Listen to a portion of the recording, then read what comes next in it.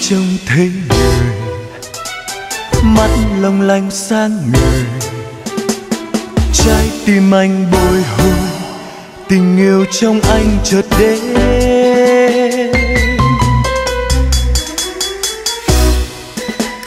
Phút giây anh ngỡ ngàng. Bước chân em nhẹ nhàng.